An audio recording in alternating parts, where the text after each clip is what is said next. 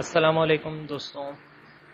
ये वीडियो ख़ास educational purpose के लिए है और उसमें भी पर्टिकुलर मैं बात करूँगा सिर्फ़ एनिमल क्लासिफिकेशन वगैरह के हवाले से। जोलॉजी स्टूडेंट्स को अक्सर ज़रूरत पड़ती है कि वो क्लासिफिकेशन के लिए बहुत सारी वेबसाइट्स हैं या फिर वो अपनी जो है वो विकीपीडिया से क्लासिफिकेशन लेते हैं जो कि ऑथेंटिक बाज़ नहीं होती क्योंकि वहाँ पे विकीपीडिया पे हर जगह से डाटा जो है वो ऐड किया जा रहा होता है। बाज़ स्टूडेंट्स भी कर रहे होते हैं, वहाँ पे कुछ टीचर्स होते हैं।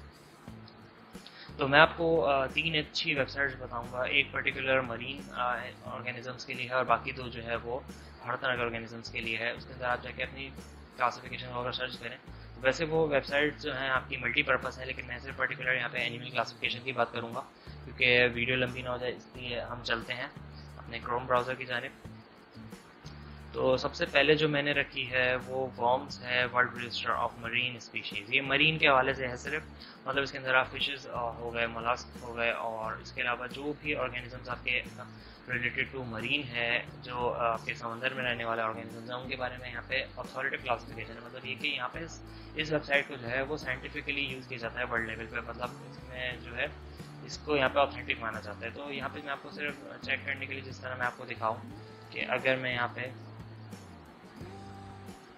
ये यहाँ पे जाके लिखता हूँ तो यहाँ पे आपने टैक्सा में जाके सर्च करना है। बाकी चीज़ें आप इसकी देख लेगा डिटेल वगैरह सारी, मैं सिर्फ़ अभी एनिमी क्लासिफिकेशन के हवाले से आपको डिटेल बता रहा हूँ। तो जिस तरह मैं ये ले लेता हूँ चैना पंकटेटा तो इसकी मुझे क्लासिफिकेशन अगर चाहिए तो देखें, ये कितनी अच्छी वेबसाइट है। यहाँ पर आपको ईजीली अवेलेबल हो जाएगी।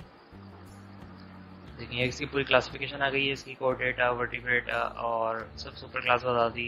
इसके अलावा class order suborder family genus species ये सब कुछ इसने यहाँ पे बता दिया है।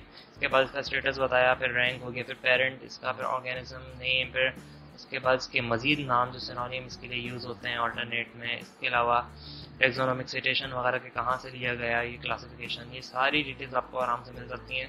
अगर आप कोई यूनिवर्सिटी लेवल पे अगर आप हैं और आपको ज़रूरत पड़ती है क्लासिफिकेशन लिखने की, उसके बाद आपको बताना भी पड़ता है रेफरेंसेस वगैरह। तो ये अच्छी वेबसाइट है, आपको यहाँ पर रेफरेंसेस इजीली मिल जाएँगे कि ये कहाँ से ली गई है। तो ये इसको आप यूज़ करें और दूसरी पे अगर हम चलें तो वो एनिमल डाइवर्सिटी के नाम से और animal diversity dot O R G ये आप देख लें इसका नाम यहाँ पे। तो ये बहुत अच्छी वेबसाइट है, देखें जिस तरह मैं यहाँ पे सर्च करता हूँ, यहाँ पे आप अपना सर्च करेंगे। आप इसको जो है वो टेक्सोन इन्फॉर्मेशन भी कर सकते हैं, वैसे तो आप इसको क्लासिफिकेशन पे रखें, वैसे पर्टिकुलर और यहाँ पे आप इसको अगर सर्च करते हैं तो ये देखें कैट कैट मैंने लिखा है, इसके अंदर देखें कितनी ज़्यादा इसमें जो है वो डाइवर्सिटी है। इसमें देखें, आपको बहुत ज़्यादा चार पेजेस हैं टोटल इसमें आपको जितनी भी दुनिया में अवेलेबल हैं, जिनके नाम के साथ कैट है, या किसी भी तरह लगता है। तो जिस तरह मैं एक खोल लेता हूँ एनिया कैलवा ये बीवर फ़िश है वैसे तो। तो इसके अंदर देखें, जिस तरह ये आपको ये पूरी जो है इन्होंने किंगडम इसके बाद आपका जो है वो ये सारा फाइलम फिर ट्रेनिटिया सब फाइलम आ गया सुपर क्लास आ गई आपकी।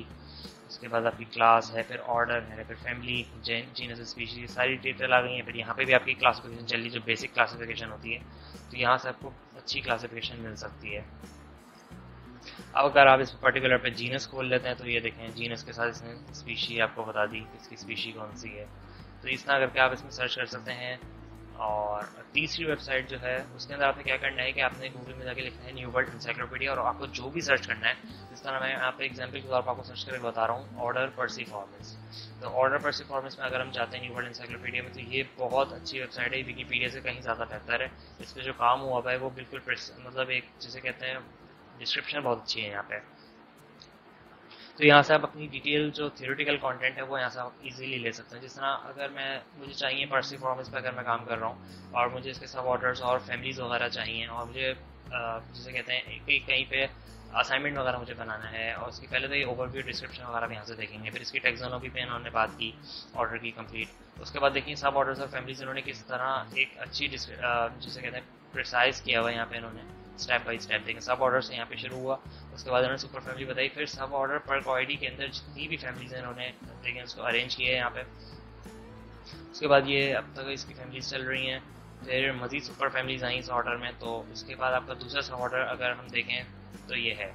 लेजोमेटोइडी और इसकी इन्होंने फैमिली बताई हुई है, फिर इसके बाद तीसरा सा ऑर्डर तो यहाँ से आप बहुत अच्छी, जैसे कहते हैं एक अरेंजमेंट के साथ आपको मेटेरियल मिल सकता है अपने काम के लिए। और इसके रेफरेंसेस वगैरह भी हैं, यहाँ पे आप रेफरेंसेस भी कोट कर सकते हैं। अक्सर यूनिवर्सिटी लेवल पे आपको ज़रूरत पड़ती है कि आप रेफरेंसेस ज़रूर कोट करें कि आप कोई चीज़ कहाँ से ले रहे हैं। तो आप ये देखें, यहाँ से आप बता सकते हैं कि टेक्सोनोमी आपने कहाँ से ली है, इसके बाद आपने क्लासिफिकेशन कहाँ से ली है ये सारी चीज़ें हैं। तो ये तीन वेबसाइट्स को आप यूज़ करके यूनिवर्सिटी लेवल पे एक अच्छे से अपनी जो है क्लासिफिकेशन पे डिस्क्रिप्शन पे थियोरटिकल कंटेंट पे आप काम कर सकते हैं। आप सिंपल विकीपीडिया यूज़ करने के बजाय आप ये तीन साइट्स यूज़ करें जो कि आपको अच्छा मटेरियल प्रोवाइड कर रही हैं।